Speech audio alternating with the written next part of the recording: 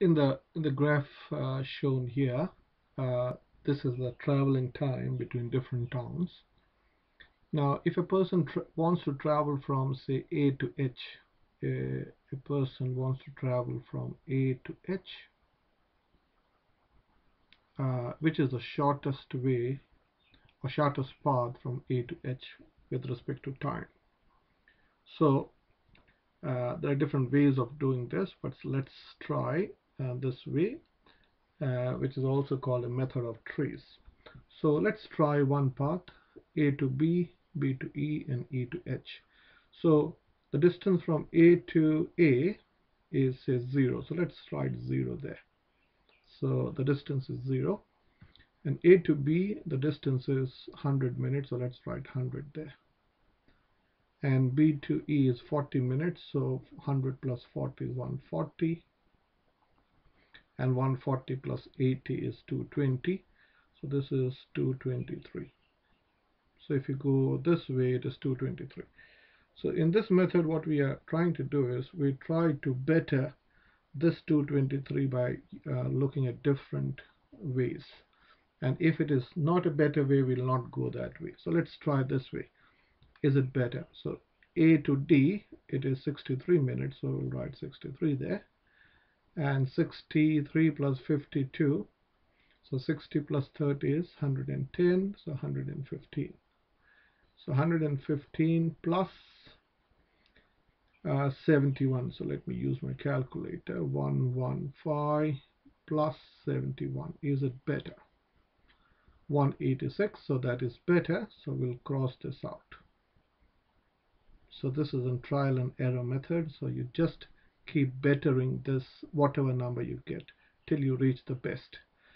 So again this way if you go from A to B B to E E to H it is 223 and if you go this way it is 186 so we this is not a better way. So this is a better way. So can we think of any other way?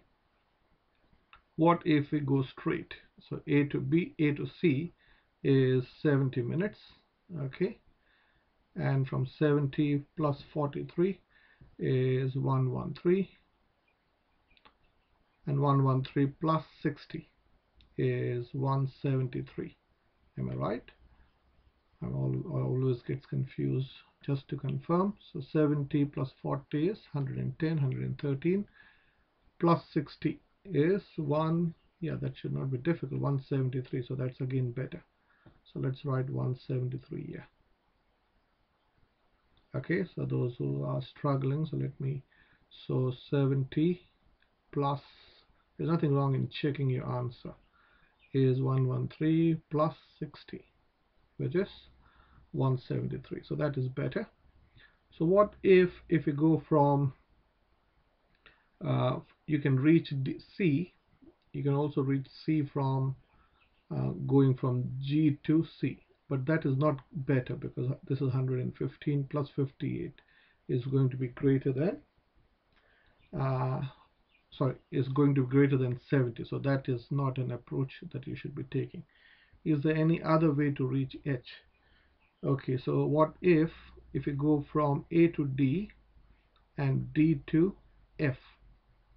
Okay can we go this way? If you go from E to C this at E you have reached uh, 140 plus 66 is always obviously going to be greater than 1 is go going to be greater than 70 so that is also not a good approach. So what if if we go from uh, B to F?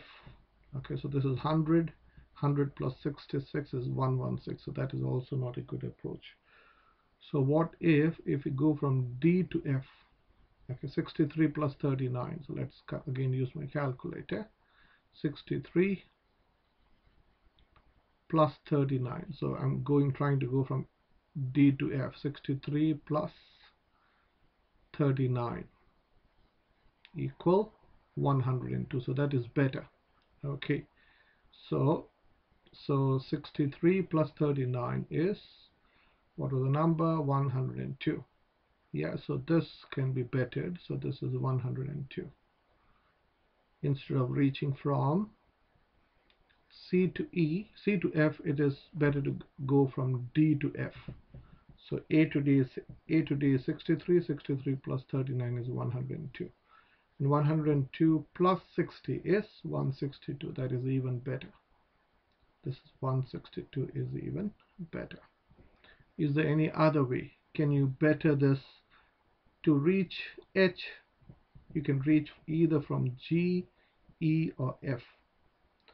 Now you can reach G from 7 if you go the other way around is it better 70 plus 58 is again not better so this way is also not better so 70 plus so let's try this way now